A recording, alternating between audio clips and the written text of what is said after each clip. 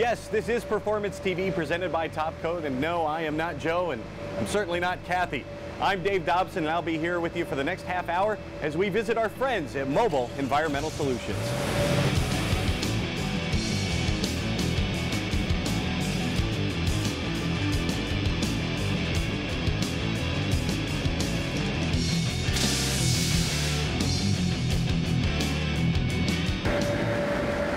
Welcome to Performance TV. We are deep in the heart of Texas at the headquarters of Mobile Environmental Solutions just outside of Dallas where these folks are making portable paint booths like this. And now Tom Williams is here and he is the president of Mobile Environmental Solutions.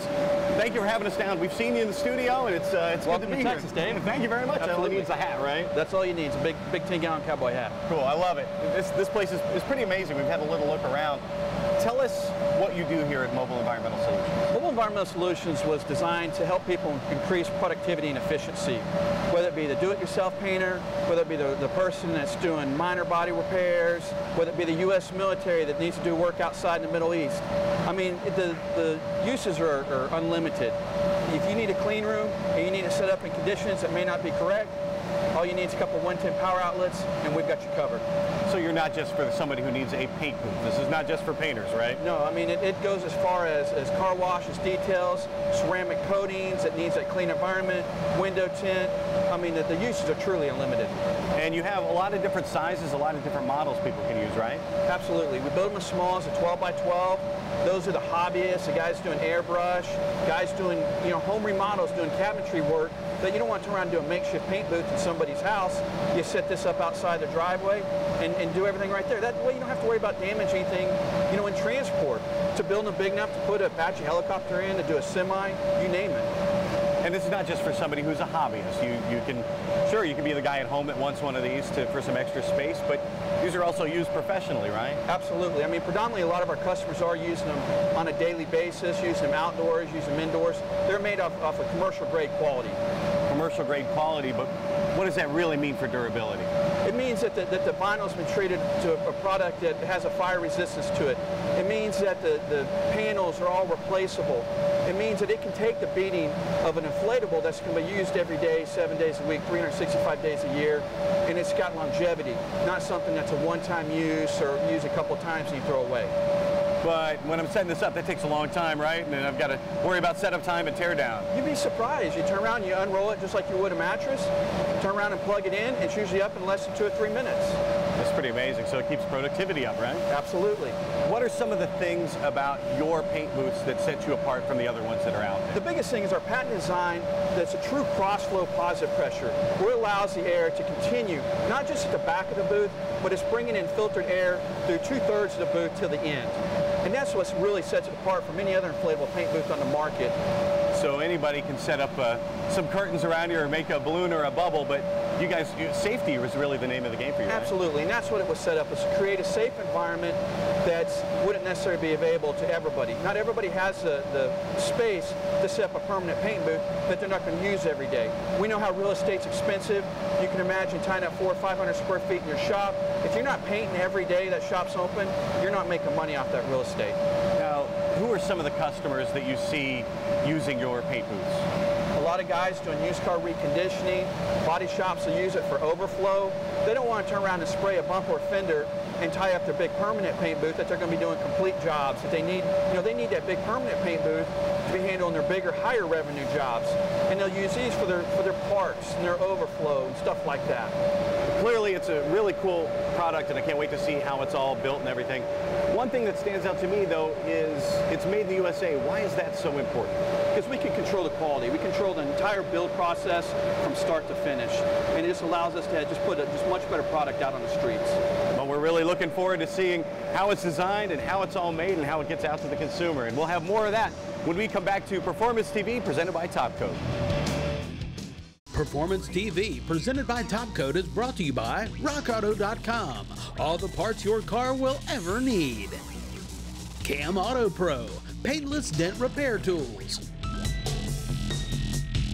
Magic Creeper, the most versatile creeper ever. And by Topcoat, the best coatings in the world. Welcome back to Performance TV presented by Top Coat. We are in Texas, just outside of Dallas at Mobile Environmental Solutions. And I've got to tell you, it's a really small operation, but it's an impressive one. Paul Oliver is the engineer of production here. And Paul, what's the first step when it comes to making one of these? The computer-aided design. Um, computer allows me to, to create the size, patterns, and length, width, and height. Also the, the tubular size so that we can get the max effort of the air pressure that we need for the inflatable. You do all the design work on the computer, and once you're finished there, what happens next? The information is transferred over to the um, cutting machine, and then it'll draw the lines where it wants the sewers to, to sew, and then it'll come back and it'll cut. It'll also label the uh, patterns so that the sewers know what patterns go together, and for future down the road, if, if there needs to be a panel uh, changed out, then we'll know which panel that is by, by code. And you're using different materials because you have different models. Is it the same cutter for everything you do here? It is, yeah, it cuts different thicknesses. So now it comes out here to Crystal, who's one of your seamstresses. What is she doing? Uh, she's still making the foundation of the uh, inflatable. So what she's actually doing right here, this is the floor. It's removable, so uh, she's got to sew all the Velcro on it, and then she'll move on to building the structure of the U-shaped uh, inflatable. She's working on the floor, like you said. How is that different from the rest of the unit? Uh, this is a little bit thicker material. This is so when the vehicle drives in and out of the uh, paint booth, and, and, depending on the surface that it's being uh, inflated on, it's a thicker material so it's stronger and, and can withstand the weight of the vehicle. I've talked to a lot of folks. This can actually withstand a ton. Yes. Uh, how often do you get something back where somebody's had a failure, a puncture, or a tear? Very seldom. Uh, uh, puncture or tear is just somebody that, you know, drives a forklift through it or something like that. It's hardly ever anything that has to do with, uh, with production. So next it moves on to the next table under the capable hands of a Don. What is he doing? So Don is uh, building the superstructure uh, part of the unit. Uh, this is the, um, the rafters and the columns. And then after he's complete with that part, then it'll get assembled to the, uh, to the foundation of the unit. Now this is a different material than the floor was in the foundation, right? That is correct. It's a little bit lighter weight, but still has the strength and durability. We want it somewhat sealed tight so that it has max pressure inside the boot. And the pressure is really important. So what he's doing, this is pretty critical, right? It is very critical. Yeah, he's got to make sure that uh, the seams match up. If, if the seams are off just a little bit, then it throws everything off. How important is it to get the design right? Because you, you told me he's working inside out, right? Correct. Yeah, he's working inside out. He's got allowances, but when we were back on the cutting machine, it showed him where he needed to, to sew at, so he, he can see through this material. Final step of the production process, building the uh, filters, the windows, and the doors. And this is a lot of the extra stuff that gets bolted on, and it's also some of the stuff that sets Mobile Environmental Solutions apart from their competitors, right? That is correct. All, all this uh, material here is all interchangeable, so the windows, the doors, all removable, the filters are removable. How important is it that everything's made here in the USA, made right here in this shop? How important is it for quality control? It's very important. That's that's the main part is, is we can control our quality. Uh, if we need to make changes, we can do it on the fly where, you know, as else we'd, you'd have to wait. Now, I've seen a lot of stuff online, stuff that looks like mobile environmental solutions, but... Yeah, but you got to be careful what you see online, because what you see online is not always what you're going to get. The quality is just not there. And once production is finished, now it's time for assembly. What are these guys doing here? So in the assembly phase, they're installing the floor, uh, like we talked about earlier. It's removable. They're going to install the uh, doors, the windows, all the filtration system. And just like every other step in the process, these guys are checking every inch of this for quality control, right? Yes, they have to do quality control at this point as well, every step of the way to make sure that uh, everything's matching up. Well, it's quite a process, and you got quite a crew. And we have more coming up from Performance TV, presented by Top Coat. Time now for the lowdown with Magic Creeper. Pretty fortunate that we get to work in a shop like this. We have multiple lifts, plenty of places for lots of vehicles. But you know what? A lot of auto repair shops, transmission shops, collision shops, you know what? A good problem to have is when all of your bays are full, when all of your lifts have something on them. But what if you still need to look at another potential customer's car? Joe, How are we going to do that? Absolutely. The idea that we can just throw down the Magic Creeper, get under a vehicle rapidly, when every other lift is in use, keep ourselves clean off the dirty shop floor, do whatever the check that is necessary, and then keep on with the business. That's, right. What, that's what's up. Yes, because with the Magic Creeper, you have zero ground clearance. Let's say you had to do this outside. Well, Joe, you're still going to be able to do that too. You're going to be able to keep your employees clean when they're getting down underneath the vehicles. Because the nice thing is, when you sit on the Magic Creeper, wherever you first sit, that's where you're going to stay. It moves underneath you. And Joe, see, nice and easy where you can do that. And you can have these throughout the shop. You could have these if you had to go out and maybe check a customer's vehicle before it got towed in. Have it in your company vehicle. They're lightweight, three pounds. Something else, they are oil and water resistant. So once again, staying clean so you can keep it clean. And if you are out in gravel or tools or whatever, they're puncture resistant. I like the fact that it makes a great gift and it fits anywhere. Shop, house, such little clearance, and I still was able to get under this GMC. Yeah, because, you know what, my, my husband and I have a shop, and a lot of times the, the bays get full. You've got customers that you want to check out their vehicles, and the bays are full sometimes because you're waiting on parts, like the delivery guys to get there so you can get those jobs done. But you want to keep everything going. This is such a great thing to have, and like you mentioned, a great gift. A great gift. Go to magiccreeper.com. Performance TV, presented by Topcoat at Mobile Environmental Solutions in Dallas, Texas. Welcome back to Performance TV presented by Topcoat. We are visiting our friends at Mobile Environmental Solutions here in the steamy Texas sun. And we are outside, Tom, because you've got one of your specialty units here. Tell me about this one. Absolutely. This is our, our unit designed uh, solely for spray and bed liners. And the nice thing about this is you can set up and, and, take it down in just a few minutes. You turn around if you're a body shop and you want to add spray and bed liners to your portfolio, or we take them to dealerships. That way the dealership doesn't have the liability of the truck leaving the lot. You can spray high pressure, low pressure cartridges. And it only takes up a matter of a few square feet. Now, of course, uh, you don't have any issues with overspray because this thing's kind of tucked away in there, right? Correct. It, it turns around and encapsulates the entire bed of the truck and actually has curtains inside there that are designed to not allow overspray to continue to stick to it, makes it for easier cleanup and so on. Now, TJ actually uses this day in, day out. How has this from a Mobile Environmental Solutions changed what you do?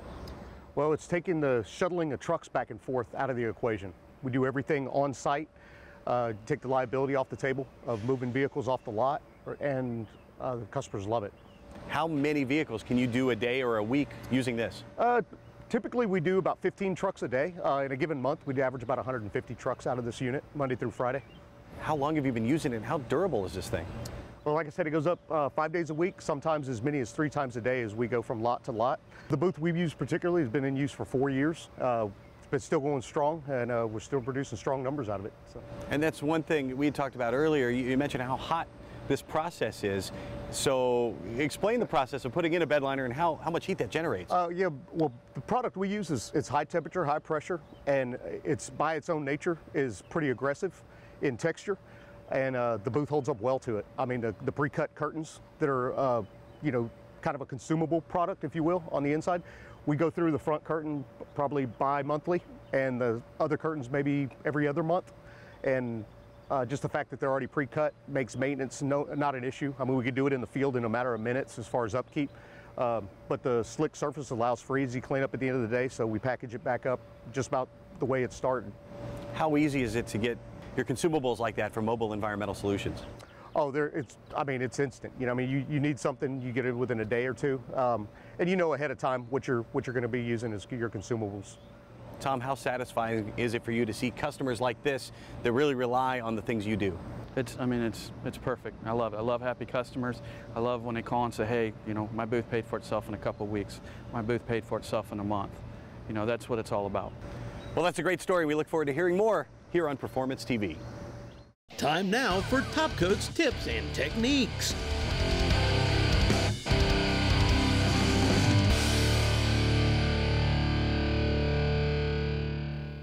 Topcoat does an amazing job, obviously, on all different kinds of surfaces, but this is really a, a, a, great situation that we wanted to share with everyone because this truck's been coated about a month ago. So we've got actual bird droppings, all different kinds of marks, that's all over this. You know, obviously this truck has been run in this, this Tennessee weather, you know, all the, the different environmental factors and, and conditions you can imagine. But again, coated a month ago. So I'm going to take the product, literally, spray it over it, and because it's been coated, everything comes off very quickly and easily. As in a matter of fact, like this right here, now this a little agitation on it, but what's amazing is this is between, this is a really heavy bird dropping that was on there, and it's just awesome how, look at this. It just comes right off. I mean, gone, you know. More importantly, all of this fallout, all you got to do is spray it, buff it, and look at everything come right off. So whether it's your grills, your front ends, your paints, your headlights, you know, the other thing that's great with headlights with top coat, you know, uh, granted this was only coated a month ago, but when you coat this brand new, you're not going to have the oxidation issue like you would.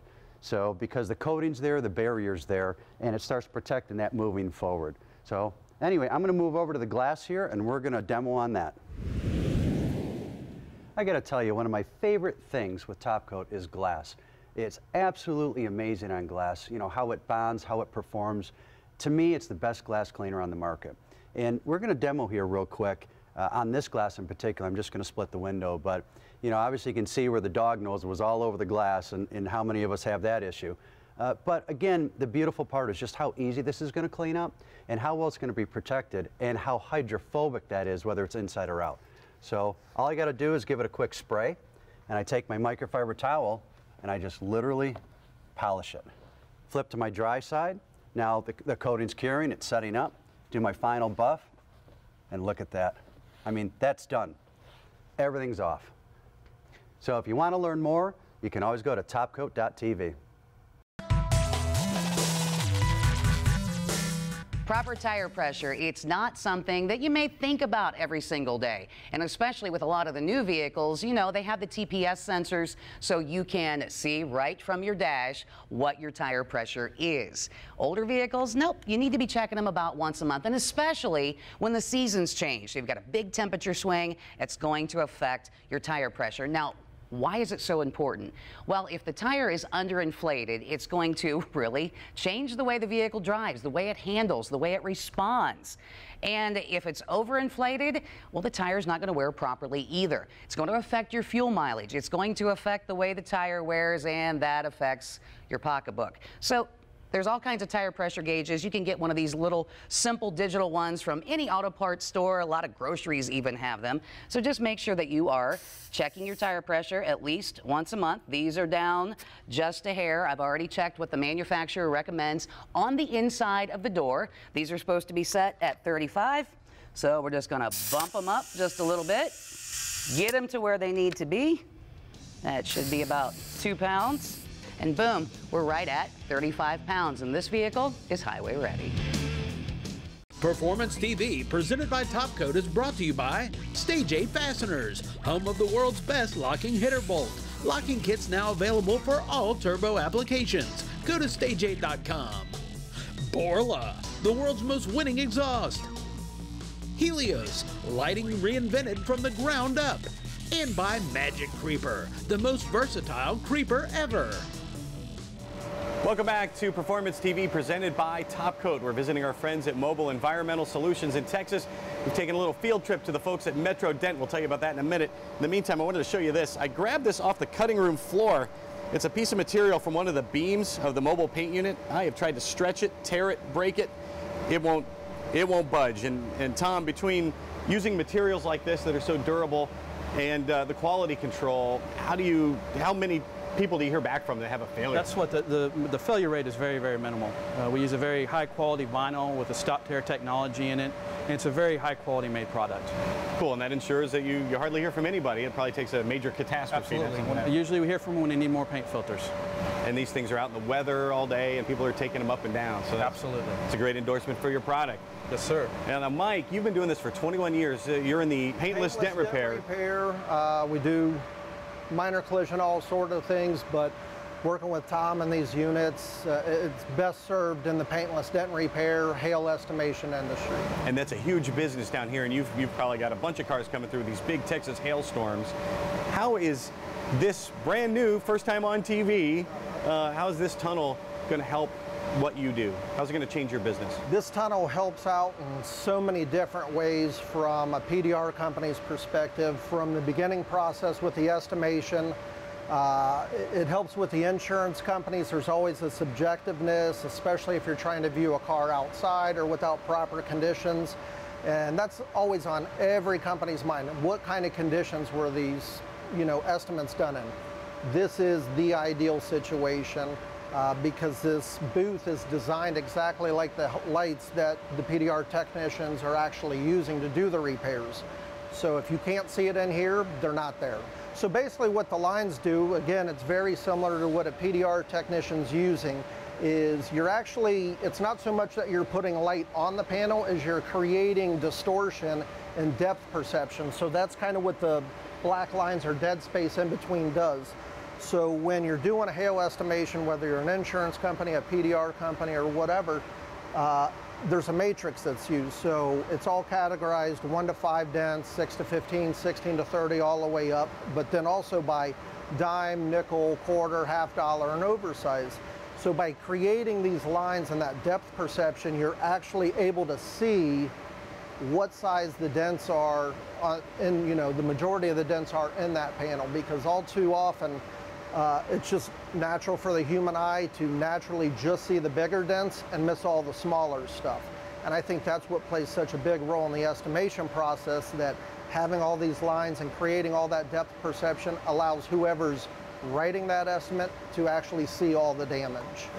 Well, Mike, we can see how this is better for you, better for the insurance companies, makes it easier for your guys to work. So obviously a better job and customers are going to be really happy with it. Absolutely. It's very versatile. It allows us, hey, to, you know, cradle to grave, start the process. Again, no matter what the conditions are, indoor, outdoor. But the nice thing is, if, if it's a slower day or I have the ability, uh, because I can set it up and take it down so fast. If I choose to work underneath this thing as a technician, rather than moving my lights around and everything else, I can sit here and do a full repair to this car because it is the perfect setting to do so.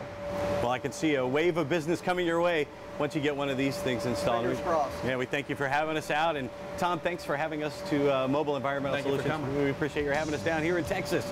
If you, if you want to learn more about Mobile Environmental Solutions, check out their website, mobileenvironmentalsolutions.com. That's going to do it for this episode of Performance TV presented by Top Coat. We're glad you came along for the ride, and we'll see you next time.